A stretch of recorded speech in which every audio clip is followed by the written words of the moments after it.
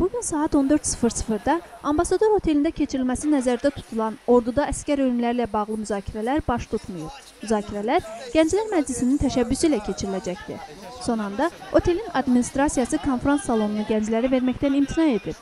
Gənclər, əskər ailələri otelin qarşısında toplaşsa da onlara icazə verilməyib. Hərbi xidmət zamanı vəfat edən əskər İsmail İbayevin ailə üzvləri də narazılıqlarını ifadə ediblər. Əskər.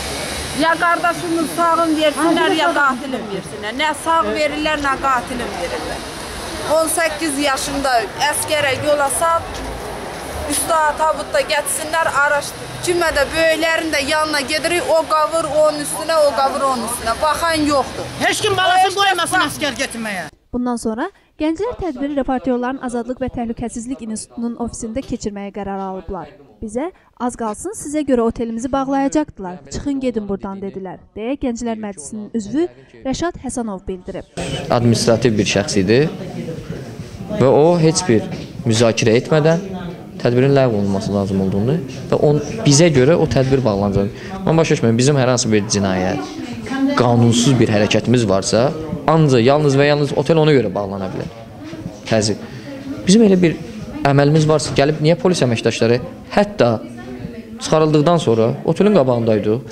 İlk gələn iki polisdən biri yenə də oradaydı. Yenə də gəldi. Məndən soruşdu niyə belə oldu? Hətta o da maraqlandı ki, nə baş verdi? Onun da xəbəri olmamış, o, yəni olmadığını bildirdi. Yəni belə çıxır ki, biz qanunsuz heç bir iş görməmişik. Ki qanunsuz da bir şey görmürük. Yəni hətta belə də, yəni məntiqi cəhətdən də fikirləşəndə, yəni bəs bu otel niyə bağlanır ki?